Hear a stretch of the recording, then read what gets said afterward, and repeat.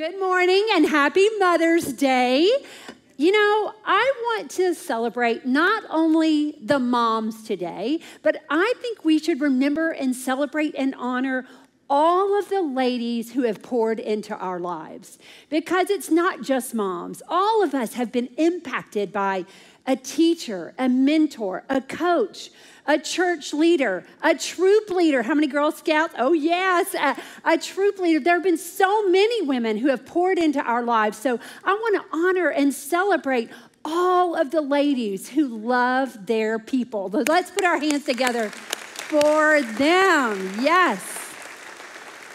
We also recognize that while we celebrate, and around Lake Hills Church, we love to celebrate, um, we look for any occasion on which to celebrate that not everyone enjoys Mother's Day, that this day can actually be a struggle for some. And so, if that's you today, for whatever reason, if you're not feeling like celebrating, that's okay. And we're glad you're here. We believe that God has a message for you. Actually, I believe that God has a message for everyone today. So let's bow our heads and say a prayer so we can get started. God, I thank you so much for this day. I thank you for the gift of church, for the gift of your word, for the gift of family and church family.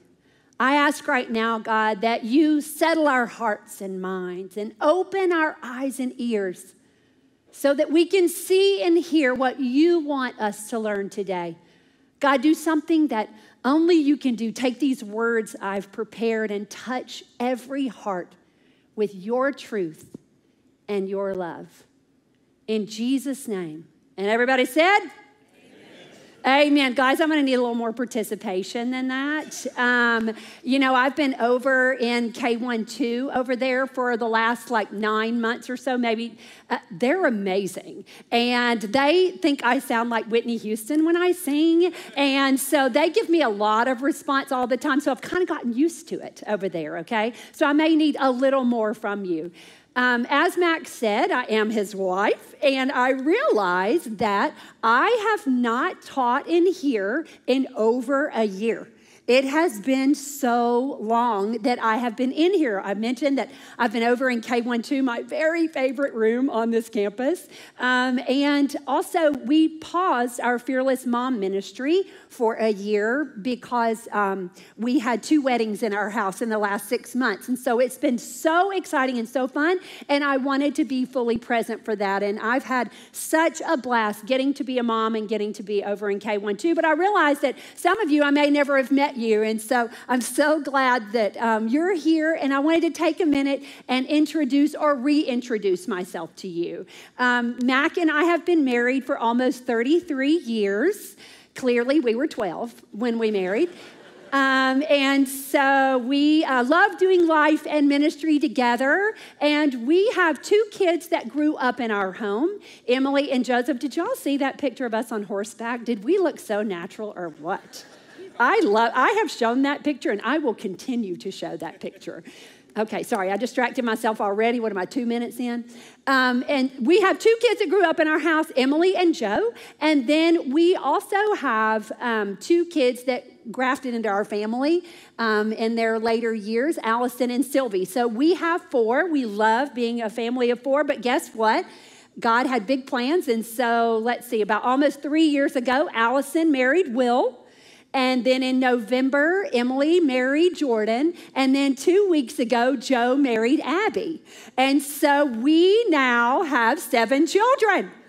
Oh, my word. Yes, for those of you scoring at home. Christmas, so much fun with seven kids. It's amazing. Uh, but at 55, I was kind of missing the baby stage. And so we got a new baby in our home. And you know what I realized at 55 is that time just goes by so quickly. And so we handle this baby a little different. Um, I have a picture of her for, yes, this is Hattie Louise. And Mac calls her Hattie Lou, and he sings Hattie Lou, Hattie Lou, Hattie Lou, Hattie Lou, yeah. That's right. That's how we feel about Hattie Lou. She is a hallelujah for us. Now, um, what's so funny is uh, I had to text my children and ask them for wedding pictures, but I opened my phone and was able to find a couple of other pictures of Hattie Lou for you. So I've got a couple of more. And just for the record, I had to delete several because there were too many. We love Hattie Lou. And here's the thing about Hattie um, she has behaviors that some in our family call misbehaviors. And we think they're adorable. Mac and I do. Her favorite thing, she gets the toilet paper roll. She's so clever. And she pulls it all through the house and pulls it out and around the coffee table. Guys, my reflex is somebody get the camera. It's adorable. Her very favorite toy is our carpet in our bedroom. Um, and it's convenient because it's always there. And so the threshold between our bedroom and our bathroom, she has completely shredded. And so Y'all, she will look up and have carpet, they're all hanging down. What is my reflex? Mac, grab your phone. She is adorable. I know, we're pitiful. And so, yeah, I told y'all that we have a ministry called Fearless Mom. I'm doing the opposite of Fearless Mom with Hattie. So, it was a Kentucky Derby. The kids came over to watch the Derby with us. And um, so we're watching and watching all the pregame stuff and everything. And I hear multiple times, no, ma'am, Hattie, no, ma'am, no, no. Emily and Sylvie in a very harsh tone. And so I look over, and Hattie Louise has a shoe every time they do it. And so I had to kindly inform them with a much kinder tone than they use with Hattie. I said, Guys, she loves shoes. And she really loves shoestrings. And so we let her do that because she loves it. And they looked at me like, You have to train her not to eat shoes. I said, No, I don't. Um, you're the human, and actually, you're a guest in our house right now. And so you put your shoe up on the table if you don't want her to have it. She is just a puppy. And so I heard him again. I heard him again. They said, Mom, you have to discipline her. This is terrible. And I said, But I don't.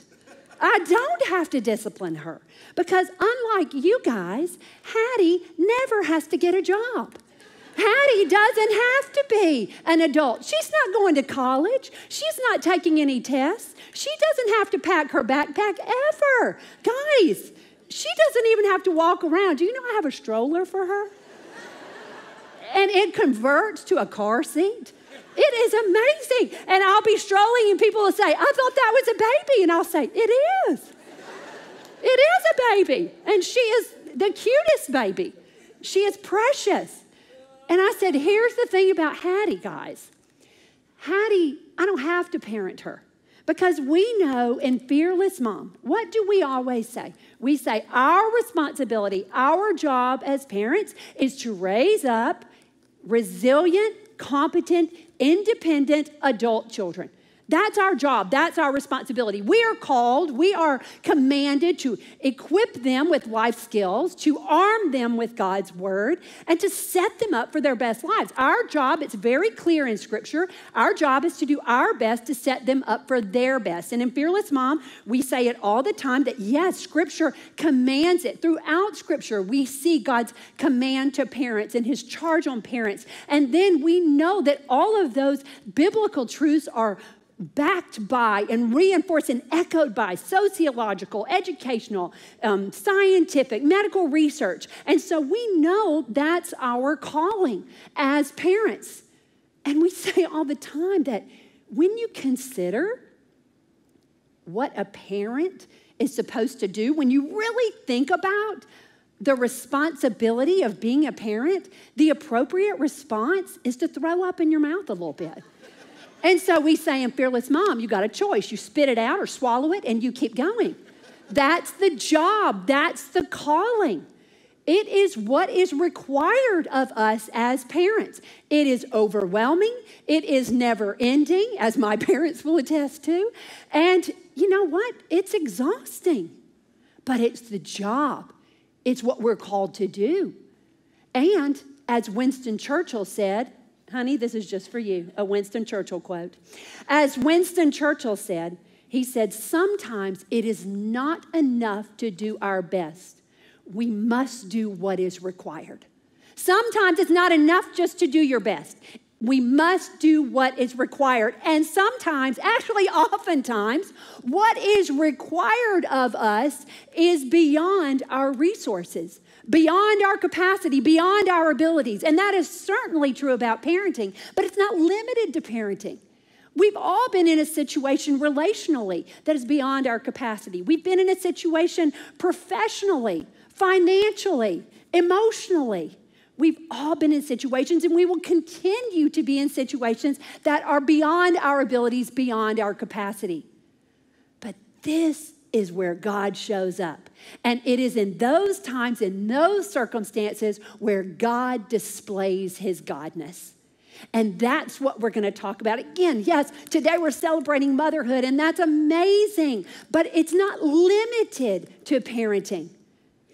Every area of your life will show places where you need outside help, where what is being asked of you is beyond you. But thank goodness we serve a God and nothing, everybody say nothing. nothing.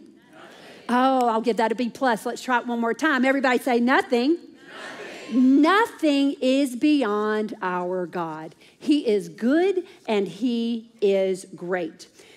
We are going to look at First Kings today as our scripture, and we're going to look and say, okay, God, what, what should we do when life requires more of us than we um, have? and we're going to look at the prophet Elijah. Now, I'm going to read some verses just to give you a little background, and then we're going to show some verses up there, and I'm going to ask you to read the highlighted words with me. Heads up, I was a classroom teacher, and so I will pause and we will redo it over and over until we have 100% participation. Just wanted to give you a heads up. That is not awkward for me, it's actually just part of the job. Now, we know from scripture that Elijah was in a time of famine and that he was without food. And so in verse 8 of 1 Kings 17, then the Lord said to Elijah, Go and live in the village of Zarephath, near the city of Sidon. I have instructed a widow there to feed you. That's important to remember. God had instructed a widow there to feed him. So Elijah went to Zarephath. As he arrived at the gates of the village, he saw a widow gathering sticks, and he asked her, Would you please bring me a little water in a cup? And as she was going to get it, he called to her, Bring me a bite of bread, too. Now, verse 12, it's going to be up on the screen. This is where you're going to read with me. But she said, I swear by the Lord your God that I don't have a single piece of bread in the house and I have only a handful of flour left in the jar and a little cooking oil at the bottom of the jug. I was just gathering a few sticks to cook this last meal, and then my son and I will die. This woman had lost all hope. She thought, This is it. We're at the end now. She was at the end of her flour, she was at the end of her oil, she was at the end of herself. She had no hope for a solution to the problem. She had no hope for the end of the struggle. She thought, this is it.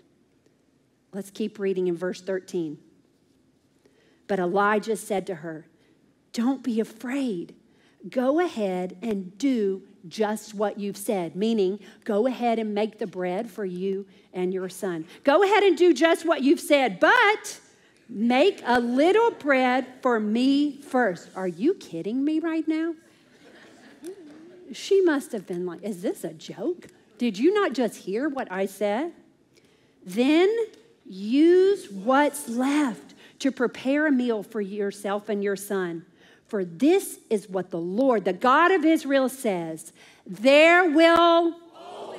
one more time, there will, Always. one last time, there will Always. be flour and olive oil left in your containers until the time when the Lord sends rain and the crops grow again. You go ahead, Elijah said. Make the bread for you and your son. But before you do that, make mine first. Make mine first, because the Lord your God says, I will provide enough. In my head, this woman, first of all, if it were me, so I don't want to put this stuff on the widow. Maybe she was a lot nicer than I am. And I'm thinking, is this is he kidding me right now? I have literally just said I have a handful of flour and he's like, "I'm so hungry. Can you make mine first? It's not the way she responded. She knew. Because remember I read to you God had told a widow that she would feed his prophet. So see she knew that this prophet was from God. And so she was going to do what he said. She was going to do it. And so she went in, she gets the handful of flour and the oil. She makes his first. Let's look. I cannot imagine when she realized what was being asked of her. It must have been so confusing. It must have been so frightening. But let's look at her response. Verse 15. So she did as Elijah said and she and Elijah and her family continued to eat for many days. There was always enough flour and olive oil left in the containers, just as the Lord had promised through Elijah. There was always enough. God provided what she needed at the right time and the right amount. Every day it says until it rained again. We don't know how many days, but it says days, so we know it was several. And so we know that she went every day and there was always enough. Always enough. Our God is so good. He knows where you're lacking, He knows your struggle, He knows your difficult situation, and He says, I will always give you enough. You will always have enough if you trust in me. Now, Mac, um, our church has been in a series called Greater Love, and Mac showed us the four types of love that are listed in Scripture. Four types of love that are shown in Scripture. We're going to show them on the slide up here, and um, I'm going to hit them really quickly. The four types of love storge, parental protective love, appropriate to talk about on Mother's Day, phileo, sibling or a close friendship, eros, the romantic, sensual, passionate love, and finally, agape. Everybody say agape. Agape love. This love is unconditional, sacrificial, healing, and eternal. This love is from God. This love is from God. The first three loves, storge, phileo, and eros, those three are conditional and they're limited because that's human love. That's human love. We will get to the end of ourselves. But that fourth one, agape, agape, unconditional, sacrificial, healing, eternal. This is God's love, the love He shows for us and the love He pours into us and allows us to give to other people. Agape love. Now, has anybody ever taken a sip of a Diet Coke, a Sprite, a Dr. Pepper, a Coke? That has lost its fizz. Have you ever done that? What do we say? We say it's it's flat. It has no life. It's like wet syrup. I mean, I don't like Dr. Pepper anyway, but a flat Dr. Pepper, come on. It's just wet syrup. It's not the way it was supposed to be. But if you have one that is the way it's supposed to be, when it's infused with the carbonation, not only does it taste different, it looks different, it sounds different, it feels different. When I was listening to Mac's message and I saw all these lists of loves, I, go, I said, Mac, I said, Mac, agape is carbonation. It was so clear to me. Agape is carbonation. And yes, he looked as confused as you do right now. And I said, Storge love and Eros love and Phileo love, that's like the syrup, that's the good stuff. But then when infused with the agape love, they're effervescent, they come to life. When we put God into everything we do, when we filter all of our decisions through His Word, when we say, God, I want you to not only be a part of every dime I make, but every dime I spend. I want you to be a part of every relationship. I want you to be part of my, my job at work. I want you to be part of every part of my life. That's putting carbonation into everything we do, every relationship every choice that we make. It's saying, God, you make life better. You add effervescence. When you are involved in my life, it looks different, it tastes different, it, everything is different, it feels different. I believe with all my heart that, yes, we are limited as humans, limited wisdom, limited peace, limited hope, limited joy when we depend on ourselves, limited discernment, limited ideas. I get stuck and I can't get out of the struggle or I can't see an end to the problem. But then I say, But God, you are the effervescence, you are the carbonation. I want to live a carbonated life. And that's what I believe God's design and God's desire for us is living a carbonated life. You will get to the end of yourself, you will never get to the end of God. We are designed to live a carbonated life. So, how do we do that? I actually believe that Elijah um, gives us a great framework for living a carbonated life. So, I'm going to give you three quick points. Living a carbonated life, what do they do? You start with look and listen. Look and listen. Matthew 6 33. Seek the kingdom of God above all else. Seek Him first. And live righteously means obey Him. And He will give you everything you need. Seek first the kingdom of God. Seek the kingdom of God above all else. Look for Him. Listen for Him. What do I mean by that? Would it be amazing if God spoke in an audible voice, that would be incredible. But odds are, I don't know, maybe he does to you, and that's amazing. We should have coffee. But odds are he's going to speak to you through prayer. If you give time, do you, do you have listening time in your prayer or just talking time? He's going to speak to you when you're quiet in your car, when you're alone, and saying, God, I'm listening. He's going to speak to you through his word, through Bible study, through church, through worship, but we have to choose to look and listen. Elijah recognized that widow. I'm like, how did he know that was the widow? How did he know that's the one who was going to feed him? I'm like, did she have a W on her?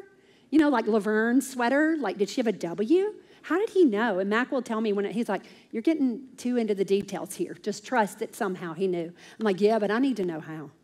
And he's like, You don't need to know. I want to know how. But this is what I do know. He looked for God and he listened because God spoke to him. The widow, the Bible says that God said, I told her. She was listening. She was looking for him and listening. So, number one, look and listen. Whether you hear an audible voice or not, look and listen for God as you make every decision in your life. And number two, trust and obey. Trust and obey. Proverbs 3 5 and 6. Trust in the Lord with all your heart don't depend on your own understanding. Seek His will in all you do. It's not highlighted, but everybody say all when I get to it. Seek His will in all you do. We tend to have compartments that we save, like that God, okay, God, I know you need to be in my relationships, but my finances, I don't know, boundaries. Now, God doesn't have boundaries. You want a carbonated life, you infuse them into everything that you do. Again, Every dime you make, every dime you spend, say, God, this is for you. Show me how. Trust in all you do and lean not on your own understanding. Seek his will in all you do, and he will show you which path to take. God told Elijah to go to Zarephath for food. And what did Elijah do? He went, and God provided. And then he told the widow, feed the prophet. And again, she knew this prophet was from God. So when the prophet said, Feed me first and then your child. What? This goes against everything in her mother's DNA. But she trusted and obeyed, even when it didn't make sense to her. How many times have we looked and listened? And man, I can get here, I can look and listen. I'm praying, God, show me the way. And He shows me a way, but it doesn't make sense to me. So I look and listen some more. And then I'll look and pray some more, and God will say this way, and I'll go, I am going to pray some more about it. I'm going to pray some more because that way doesn't really make sense to me. And, or that way doesn't sound fun. So I'm definitely avoiding that way. And so I'll look and listen. You know what? Trust and obey. trust and obey. If you're needing supernatural intervention in your life, in a relationship, in your finances, in your profession, in your emotional health, look and listen, and then trust and obey. Over and over again, we see God do miraculous things, but almost every time it's preceded by a human's obedience because we do the supernatural, we do the natural, and then God comes in and does the supernatural. Peter walked on water, but you know what he had to do? He had to step out of the boat. That's a natural move, and it was followed by the supernatural. Jesus turned the water into wine, but he told them, Go fill the jugs. They filled the jugs, they obeyed, and then he did the miracle he turned it into wine. And the man, he put the he put the um the blind man put the mud on his eyes, and the man still couldn't see. And then he said, "Wash it off." And then you will see. And the man obeyed, and then the miracle happened. What is God calling you to do? Where He's saying, just take the next step. Let me worry about solving the problem. But you have to trust and obey, even when it doesn't make sense and it's taking the next right step. And you're thinking, but that didn't really fix the problem. He's like, settle down, cowgirl. I mean, I don't know. If I had my own biblical translation, it may have some of that stuff in there. Or Missy, you know, settle down. Take the next right step. Do the next right thing. Okay, so look and listen, trust and obey. And finally, rinse and repeat. If you are in Fearless Mom, you hear us say this phrase all the time rinse and repeat. Rinse and repeat. We want immediate change. I obeyed, I need to see the miracle. And he's saying, rinse and repeat, rinse and repeat. In my head, I start, I get in my head a lot, confession. Um, I know it's shocking. But when God said through Elijah, feed him first, and then I will give you everything you need. She goes in, and I'm wondering, when he said, I will provide until it rains again and the crops grow, did she go in and lift the lid and it's like, it's full of flour, bring on the famine? I, I don't know. Or did she go in and there was just enough every day? Because it said for days, days, multiple times. I tend to believe that it was just enough every day. And that every day she made Elijah's food, she made her child's food, she made her food. She trusted and obeyed every day. And then the next day she went in. There's enough. And she did it again. And then the next day, there's enough. I so often go to God like I'm going to take off the lid for this thing I've prayed for and I want it to be overflowing. I want plenty. And God is saying, I will give you enough. For those of you who know me, you know, if you've been a fearless mom, you know I have a huge fear of public speaking. Um, it's not a joke. Like, I want to vomit every single time. And when Mac said, uh, you know, I walked out and I said, I'm not doing it, I'm in it. And he was so mean, it made me do it. And so I, I have prayed, God, please remove this fear from me. I know that you're calling me to do this, and I love Fearless Mom, and I love teaching, and I've been so fortunate to get through conferences, you know, across the country, and I, it's amazing. And I want to throw up every time, every time. And so I'm like, what is happening? And I am out. And then I go, okay, God, so I'm down here legit singing this song. I speak Jesus over fear and anxiety. I'm like, please, God, please, God, remove it. And you know how much He gives me? Enough. I want it to be all gone. I want my circumstance to change. I want my problem to be gone. I want to see a clear path to the solution. And He says, I'll give you enough. And every single time, it's hard. I don't like hard.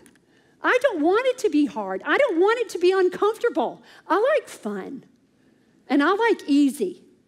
And he's saying, look and listen, trust and obey, rinse and repeat. I will give you plenty. I will give you, what is it? Enough.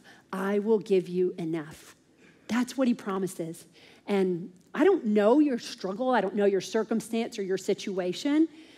But if you're thinking, like, I've been looking and listening, I've been trusting and obeying, I am rinsing and repeating all the time, I will tell you this your struggle, your difficult circumstance, it may not change.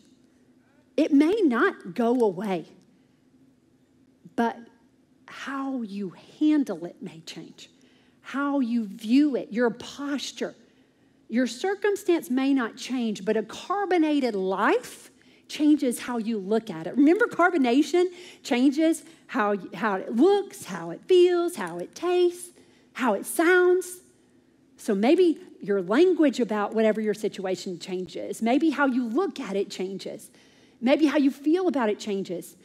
But I know this I know that whatever that situation, that struggle, whatever it is that you're thinking, what is being required of me is beyond my resources. God is saying, it's not beyond mine. It's not beyond mine.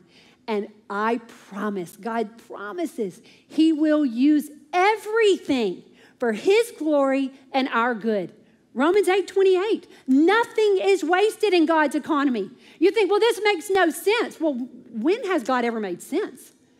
He is beyond our reasoning. His thoughts are higher than our thoughts. His ways are beyond our ways. But he says, trust and obey, rinse and repeat, and you will have enough until the rain falls and the crops grow. You will have enough. What an incredible promise. You know, John 10 10 is probably my favorite verse in Scripture my favorite verse, and I, I quote it all the time. John 10 10 is Jesus himself speaking. And he says, The enemy, the enemy comes to steal, to kill, and destroy, to steal your joy, to kill your peace, to rob you of your hope. But Jesus says, But I have come, I have come, Jesus says, that you may have life and have it to the full, an abundant life, an overflowing life. Some may say, a carbonated life. That's why Jesus comes and have it to the full. And so if you're in an area, if you can look in an area of your life that's flat, it's not God's design and desire. Don't settle for flat. He is the effervescence.